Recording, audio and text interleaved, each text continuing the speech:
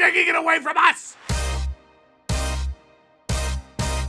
Gosh dang it, it's good to see you. Hello, friend, Steve Dangle here, and welcome to the best day of the week! It's Thursday, which means it's time for another episode of Steve's Dang It's presented by Advil, where we take a look at the biggest dang it's from around the NHL over the past week. Now, listen.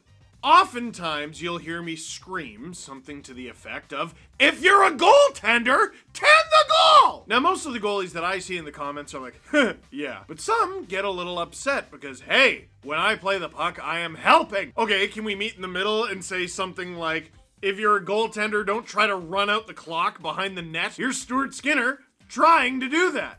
Sent in by Carlo. Final 10 seconds. Skinner will have a decision here. And he turned it over. Krejci unable to pull the trigger. Dishes. One timer. Will it count?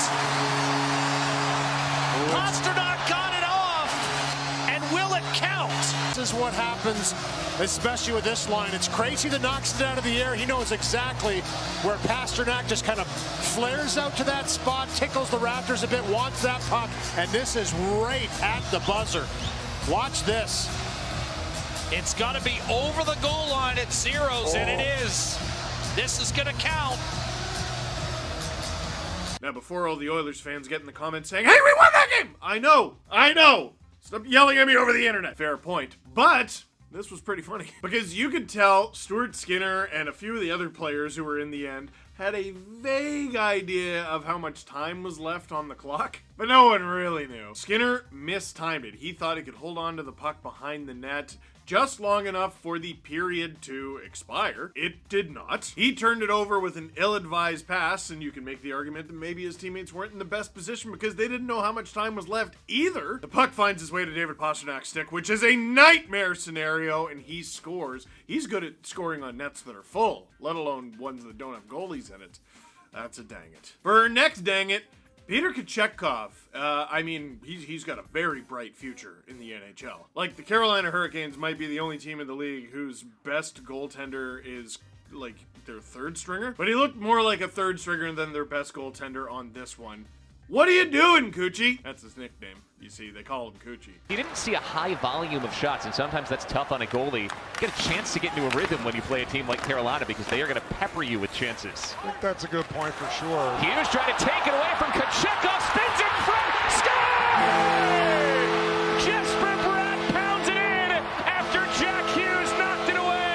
pressure on the goaltender Kochetkov that creates a turnover. He spins around, gets that puck toward the net, doesn't quite cross the line. It sits in the blue paint right there. That's just the pressure of Jack Hughes and his quickness and good stick. And then Bratt in front takes two swipes at it and finally is able to poke it past the goal line.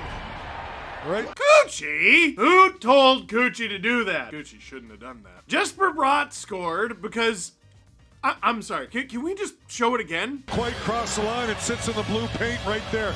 That's just the pressure of Jack Hughes and his quickness and good stick. And then That is a Carolina cavalcade of errors. He's going to have a long career in this league, which doesn't mean he's going to be bad. It just means we might be seeing him again. Koochie. That's a dang it. Our next dang it is a fight that isn't one. Like, listen, there are very few true heavyweights left in the NHL. There, there's a few more probably in the AHL, which made this the perfect scenario. Ryan Reaves, that is the reigning heavyweight champion of the National Hockey League, taking on Boko Imama, recently called up to the Arizona Coyotes. Two tough customers. Let's see what they do. They talked and warm up, and here we go. Sunday night in the desert. Center ice, baby. And let's see what the kids got. Had a fight last year against Nashville, against Borvietsky.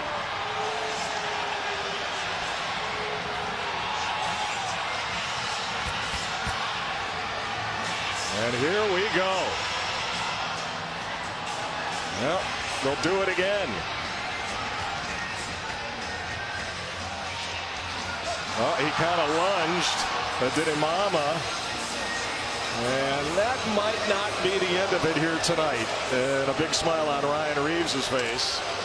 There hasn't been a fight this disappointing since The Undertaker fought Goldberg in Saudi Arabia, or any Jake Paul fight where he didn't lose. Now, Ryan Reaves with the, like, super slow simmer build to the fight, he's done that before. It's just, it was usually followed by a fight. Mama went for a punch, he missed, they fell down, the linesman intervened, and to me, that's the problem. No, no, you can't. No. This was an all-time week for linesmen interfering in fights that should have happened. Binnington versus Reimer, Reaves versus Imama, Binnington versus Fleury, Binnington versus Binnington. Don't worry, we'll get to that. I saw a bunch of people call this the worst fight in NHL history. No, it's not, because at least Imama threw a punch. There was another fight famously in NHL history where no punches were thrown. This is up there. It's pretty bad. That being said, that's a dang it. For our next dang it, it's actually kind of a hat pick. Here's Pavel Dorofeyev of the Vegas Golden Knights scoring his first career NHL goal with his head. And it stays 3-3 as Martinez slings it in from center ice. Now the puck in front. And they bang away and a save on Carlson. Rebound, they score! Somehow it got in. Not sure if Dorofeyev knocked it in or not. That's exactly what's going on here. Dorofeyev picks up the loose change in front, gets to the net. Carlson bounces it off. I think it goes off of Jordan Binnington on this play here and comes back and hits Dorofeyev off of the head and into the net. I mean, that's a What different a- way of using your head to score a goal, John. What a way to score your NHL goal. First NHL goal. They're going to review this. Well, what they're reviewing here is that it wasn't a headbutt motion. I've seen that before where the players, believe it or not, First of all, hello, Jordan Binnington. We'll be seeing you again much later in this video. Second of all, the shot happens, it deflects off a million things, including Dorofeyev's head. Look at him. Look, look at his reaction. Look at it. Can we can we slow mo on it, producer Nick? Look at it. Ow. There's an Advil integration in there somewhere. He that's that's using your head, and if it hurt, he can have an Advil. Was that good? I'll do another one later. I do love that they had to review this because you're not actually allowed to headbutt a goal in. You are allowed to have a goal go in off your head accidentally, though. Case in point, Andrew Shaw actually scored a playoff overtime winner several years ago, but he headbutted in, so they took it back, leading the majority of hockey fans to realize uh, that's actually illegal because how often do you see that? But one time I was at a Toronto Maple Leafs versus Philadelphia Flyers game. Dion Phaneuf was at the point. He took a slap shot. It hit Mikhail Grabovski's head really, really hard and really, really loud. And the whole building went, oh! Because he scored. He being Grabovski, not Phaneuf, because Grabovski was technically the last person the puck touched. This one was a little bit more gentle and get it out of the net and put some tape around it. That is a first NHL goal to remember. Still a bit of a dang it. You know what? As I was, nah, I maybe this should have been a happen. I don't know. It could be both.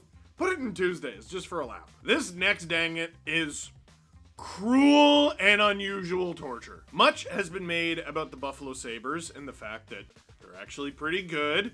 Their goaltending's not great, but it's going to be great. Well, the other day against the Dallas Stars, who are looking pretty great, especially since after the trade deadline, the uh, Dallas Stars scored 10 goals on them. And for some reason, Eric Comrie was left in for all 10. Forcing Thompson back into the Buffalo zone. Donoff drops it back to the line, scores. Stars work on the right side. A little bumper trying to get in front to Pavelski again. Robertson to Pavelski. One timer beats Comrie on the power play. instead of getting distracted by it. And Here's Heiskanen walking it down the left side and behind the net center in front. Benn with a one timer up top. Back to the line. Hanley. Right in front. The puck bounces up over Comrie and the Stars get their fourth. Miller will play it up ahead. Dellandrea knocked to the ice by Stillman, but the Stars trying to take an advantage with a drive to the net. Sooners the one going. He gets a chance and it gets past Comrie. Stars just hack it out to center. Benn down that right side into the Sabre zone. Sends it to the circle. The shot scores. A quick release. Turnover in front of the net. Open and Faksa will tap it by Comrie. He continues to play there, he's done a good job tonight.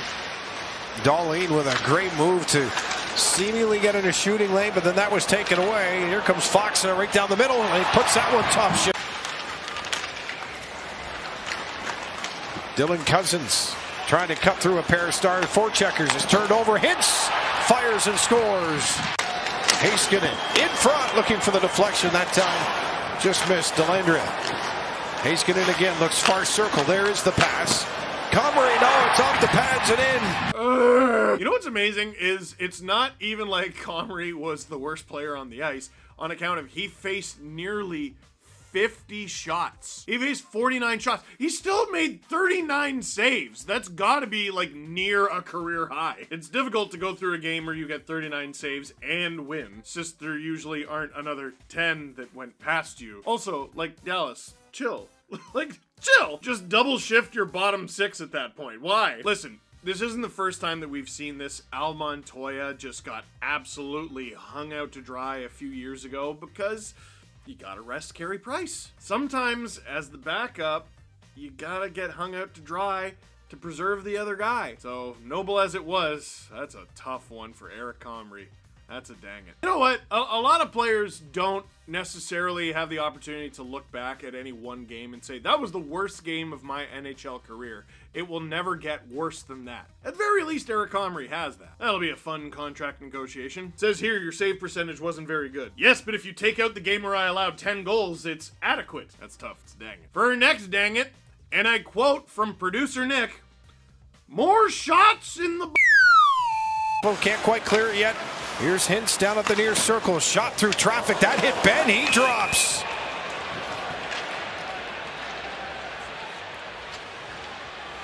Yeah, Benn, a pretty tough customer too. When he goes down, that means he's hurting. Oh, he went down in a heap. Yeah, he did, and not getting up too quickly. Let's see. Okay, Hintz going to take the shot right here. Oh, I think it hits him right in the the midsection there, and I can understand why he stayed down. He's slowly getting up and working that one off.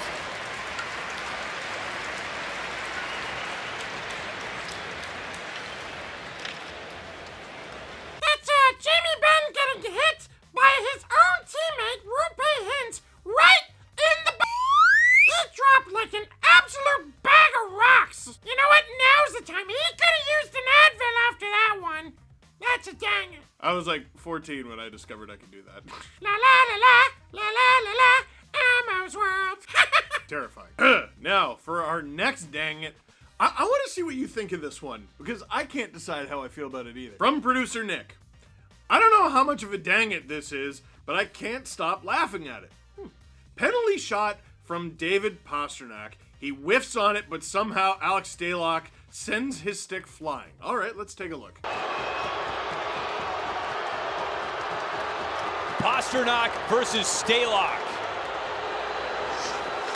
He misses. Stalock lost his paddle. Pastrnak lost the puck.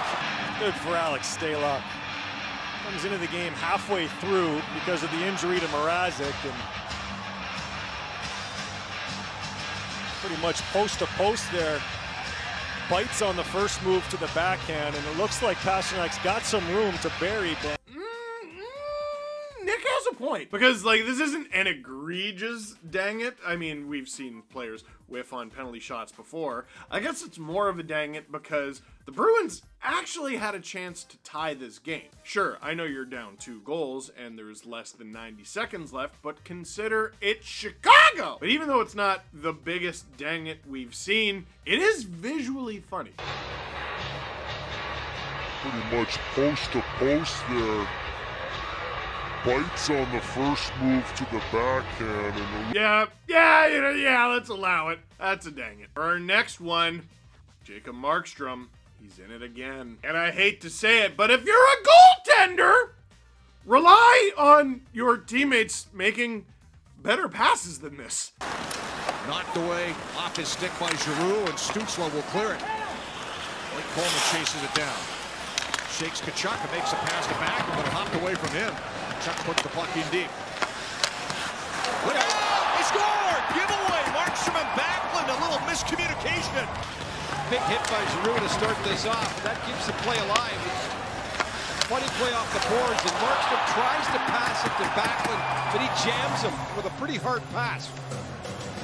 And then Backlund trying to go behind the net to Weegar, and it hits Markstrom's pad and ends up right at Stutzle's stick. Okay, if you're a goaltender, tend the goal, and this is Markstrom playing the puck and not being in his goal.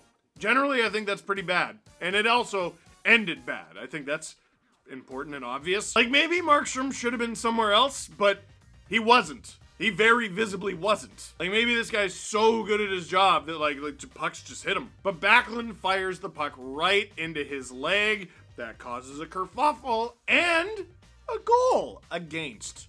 Not a fun time. That's a dang it. The Calgary Flames past like entire month has been a dang it. They just, oh my goodness, this season can't end soon enough. Down to the final two, and this one I, I got to see in person. I didn't like it. Here's Jake McCabe, who's a new Leaf, scoring on his own team. Copper glanced off his stick. McCarr again. Rantanen scores. Deflected in off McCabe. And the game is tied. And the pass ends up getting blocked. Here's the pass across. They got a chance to get the puck out. Instead, it's MacKinnon keeps it alive. This is a shot pass trying to go to 13. And instead, even though he wasn't blasting it, he's trying to go through the legs of McCabe, and it goes off the stick and in. So Rantanen gets a bit of a break there, and tough one for Samsonov. You see his late reaction as it got deflected. No, Mikko Rantanen, who is having yet another understated season. When are we going to start talking about this guy more? He's ridiculous. Puts the puck that was supposed to be a pass off of Jake McCabe and into the Leafs net. Now, in fairness to Jake, this is not the first time I have seen a player named McCabe score against his own team, and that own team was the Leafs. Ah, memories. Nonetheless, this was the only goal that the Leafs allowed in this game. It was a 1-1 game heading into the shootout. So when you think about it, the Leafs scored both goals in a two-goal game and lost. That's a dang it. And now, for our final dang it, gestures vaguely at Jordan Binnington. Now, there seems to be some confusion about the kerfuffle with Jordan Binnington, and don't you want more personality in the sport? Of course we do. You know, generally, I didn't have a problem with what he was up to prior to him punching Marcus Foligno. Because, listen, it's a high scoring game between the Minnesota Wild and the St. Louis Blues. Neither goalie, Marc Andre Fleury or Jordan Binnington, is having a good time. But Binnington gets lit up a bit, and the Wild are chirping at him, and he's chirping back at the Wild, and he's trying to get the crowd going. Like, I don't think anyone has a problem with that part. You can look at him, John, at the bench yet again, which almost no goalie does, and go, oh, Jordan, and I'm sick of his antics. But at the end of the day, there's nothing wrong with those antics. It's good to have heroes and villains. What is not good to have is punching a dude in the head with your blocker while you're still holding your stick. Hartman and the Blues. Binnington coming after him. Hartman skated through Binnington's area and clipped him on the way by in celebration. And Fleury's over Fleury's there, come they're all the go. way down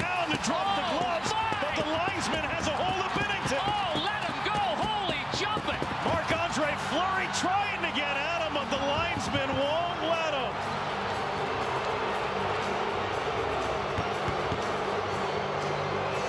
Binnington taking exception after the goal by Hartman. He had a slight bump in. Binnington went at him right away while the Wild were celebrating. Marc-Andre Fleury with no hesitation at all. And Binnington wants this crowd going. Where's Ric Flair? Is wrestling. I think the biggest dang it in all of this is let him fight! He wants to fight so bad! Why do you keep taking it away from him? And more importantly, why do you keep taking it away from us? The linesman breaking up a fight between Marc-Andre Fleury and Jordan Binnington is like if they remade Gladiator and when Maximus and Commodus are about to fight, the guard's broken up. No! No! That's what everyone came to see! Why? Why? Why? Why? And listen, I, I mentioned punching him with the blocker, and that is that is bad. And at the time I'm shooting this, he hasn't been suspended yet, but he does have a hearing. A lot of people are like, oh, he's gonna get fined. He's not gonna get fined. I think he's gonna get suspended. But the fact that he has his stick in his hand matters because If a hockey stick is a twig, a goalie stick is a log. You can't be punching a guy with your blocker, and you definitely can't be punching a guy with your blocker while you're holding this massive goalie stick. They really broke up Maximus and Commodus. I, I Google it. It's a good film. But that is a huge Dang it. I wonder how many games he's going to get. Knowing the NHL Department of Player Safety, it's going to be like, we reviewed Jordan Binnington's actions, and as a result, we have suspended Marc-Andre Fleury four games. So that is it for this episode of Steve's Dang. It's presented by Advil. Thank you very much for watching. Click like if you like this video. Click subscribe if you really liked it. Tell all your friends.